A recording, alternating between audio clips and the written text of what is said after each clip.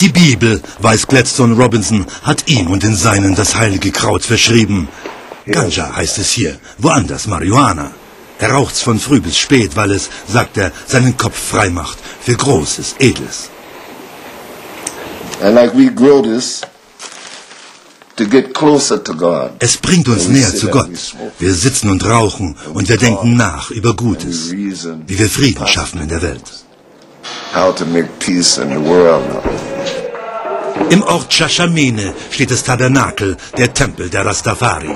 Von hier aus wollen sie Afrika einen, 200 Heimkehrer aus USA und der Karibik, Nachkommen von Sklaven. Hier beten sie zu ihrem Gott und Namensgeber. Rastafari hieß er, bevor er als Haile Selassie Äthiopiens Kaiser wurde. Er rief sie nach Afrika, schenkte ihnen Land in Shashamene. Ich bin in New York geboren, lebte in Kalifornien und Texas. Ich kenne Amerika. Aber ich hatte nie das Gefühl, ich gehöre dahin. Ich spürte, ich gehöre nach Afrika.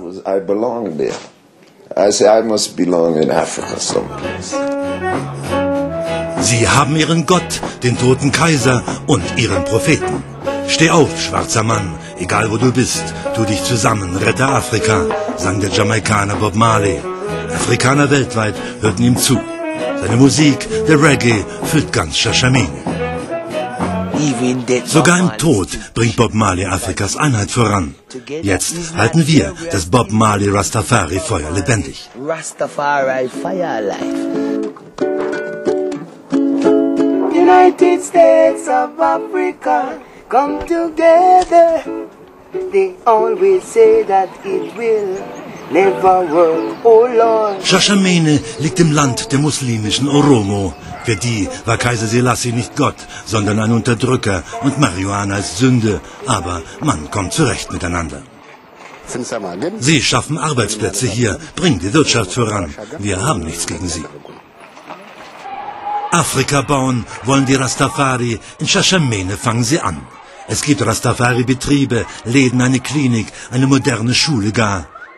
Sportlehrerin hier ist Schwester Velete, vormals Stefanie. Mit 19 verließ sie Deutschland. Hat sie es je bereut? Nee, nee, das ist auf jeden Fall die Erfüllung unseres Lebens. Das wollten wir so lange. Seit, seit, wenn wir, als wir draußen waren, haben wir immer gesagt, Afrika, Afrika, Äthiopia, Shashamani. Und jetzt leben wir es. Und lebenslange. Ob sie mal hier begraben sein will, fragen wir die älteste Rastafari am Ort. Und da belehrt sie uns.